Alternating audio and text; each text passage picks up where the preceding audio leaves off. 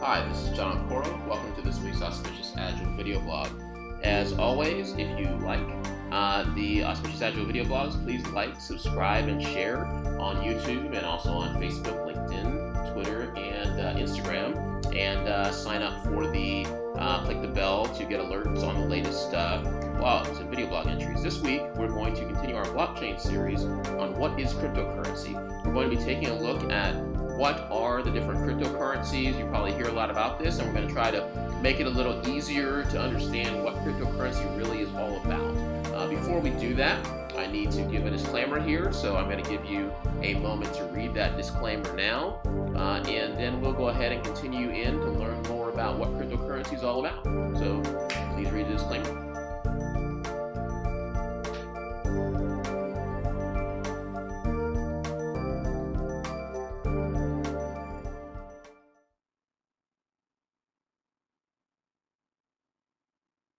Great. So let's get into what cryptocurrency is. Simply stated, cryptocurrency is really just internet money. Um, we had the internet first, we have personal computers, and now we have cryptocurrency, which is along with the blockchain. You can see the previous Auspicious Agile video blog on that topic. You basically have internet money. So this is money that you don't really have physical coins, you just use it online. Uh, you can use it to buy any product or service or anybody else will accept uh, the different uh, cryptocurrencies you can use to buy from them as well. Now, that means you could buy a pizza. The first purchase, or one of the first purchases with Bitcoin, was actually a pizza for like 10,000 Bitcoin. If you had that much today, you'd have about $90 million, somewhere in there. Um, you can also buy e commerce products online. Uh, you can do shopping or go to stores or physical locations that will accept Bitcoin. In many countries, in many places, they do. Uh, you can buy your coffee or your latte using a Bitcoin. You could even buy a car from somebody with a Bitcoin if they would accept Bitcoin or uh, purchase cryptocurrency. Uh, so there's many cryptocurrencies. Or you could even get a space tourism flight on uh, Virgin Galactic, which I think the Winklevoss twins uh, had actually, uh, they're going to purchase a space tourism flight uh, using Bitcoin. Now, also in cryptocurrency, you have miners. Now, miners are people who actually are basically the accountants for the cryptocurrency, and they're the ones who make sure the transactions are verified and correct and uh, honest transactions. So there's usually a large number of people who do this, and when you hear the term miner, they basically are the accountants that make sure that this is the accurate information, like a bank would do for traditional transactions. Now, Probably the most famous of all of the cryptocurrencies, of course, is Bitcoin. You're going to see me using three or four letter abbreviations. Bitcoin's abbreviation is BTC. Uh, you can use this to look them up on CoinMarketCap and other websites to find out more information about the different cryptocurrencies. Now, Bitcoin has been around since 2009, uh, roughly, late 2008, 2009. Uh, and the first transactions were done. They had the Genesis block, as they call it, at that time. And Bitcoin is often considered digital gold. It is a store of value uh, and is probably the best known of all the cryptocurrencies and the first of them.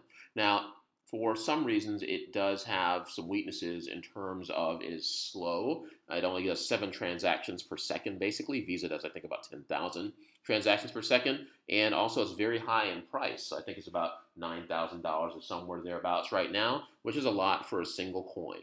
But there are a lot of other altcoins, we call them, uh, that are other cryptocurrencies. We're going to look at those. So here are some for transaction speed.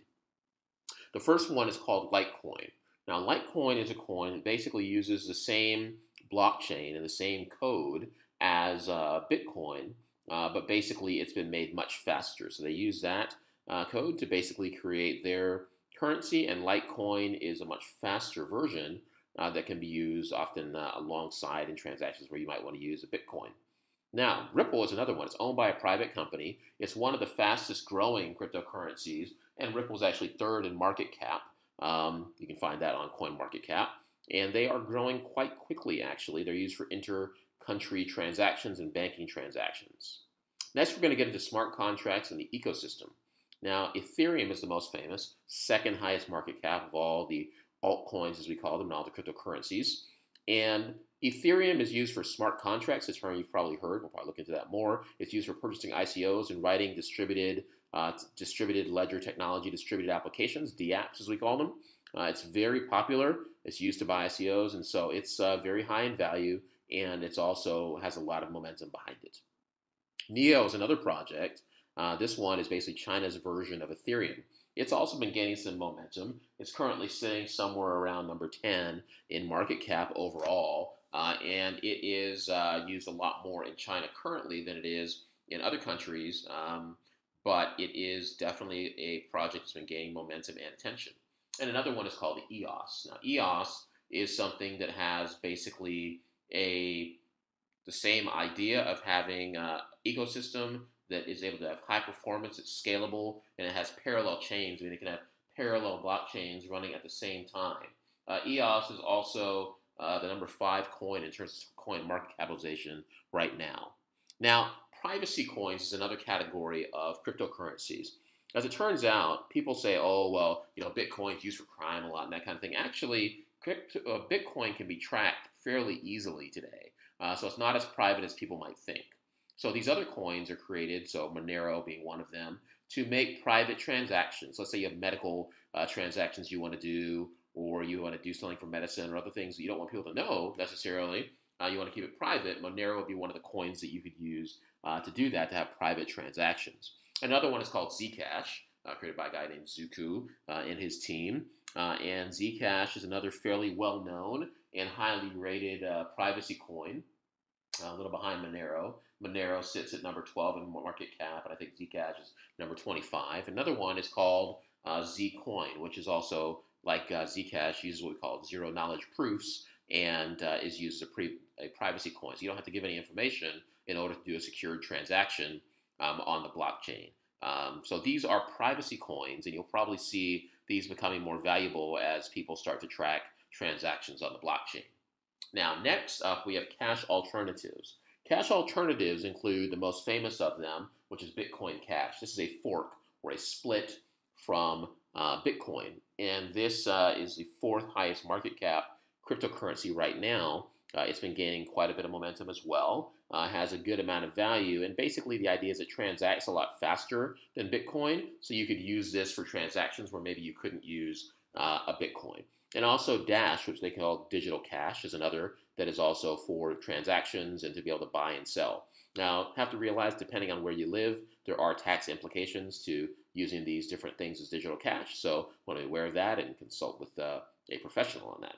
Now, other altcoins as well. Um, we'll talk about a few others as well, as there are many. Stellar, which is for banking payments. There is Walt Chain, which has become popular for Internet of Things, IOTA, which is again for the Internet of Things, QASH, which is for liquidity, and Omisego, which is financial inclusion and becoming popular and quite an interesting project as well. Now, I cannot cover all the coins in this video. It would just take way too long. There's probably, I think, over 1,500 um, different cryptocurrencies currently, uh, but you can look at those on CoinMarketCap. I've tried to cover some of the top coins, uh, probably the top 20, 25 uh, some from that range, and certainly the top 10, uh, so that you're able to get an idea of what the different types of cryptocurrency are and uh, what they're good for, what they're used for.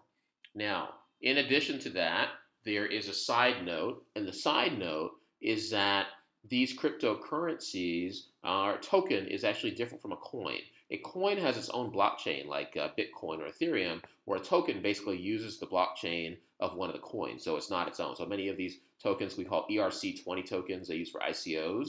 Uh, these tokens actually use Ethereum's blockchain, and they don't have their own blockchain.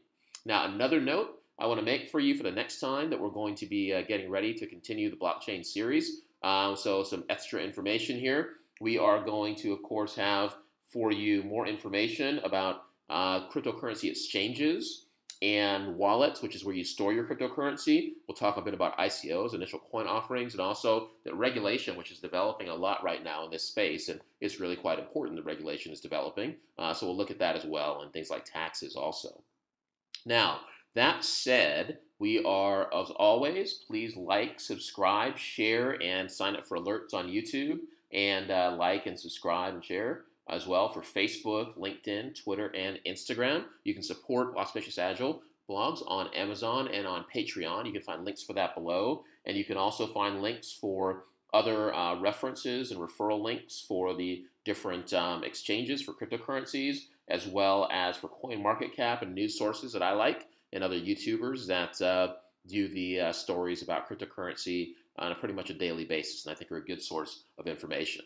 That said, as always, stay agile, and I hope you got some great information about uh, cryptocurrency and uh, a good introduction uh, to it as well. And thanks for listening, and we'll see you next time.